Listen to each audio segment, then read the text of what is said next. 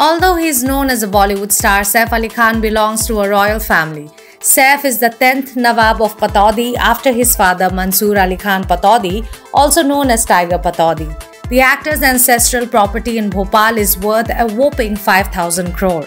However, we bet you did not know that Saif Ali Khan may not be able to give a penny from the property to his three sons Ibrahim Ali Khan, Taimur Ali Khan, and Jehangir Ali Khan.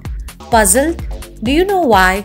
According to an entertainment portal's report, apparently all of the properties and other relevant assets belonging to the House of Pataudi fall under the controversial Enemy Disputes Act of the India government, and as such, nobody can claim to be an heir of any such property or assets that come under the purview of said act.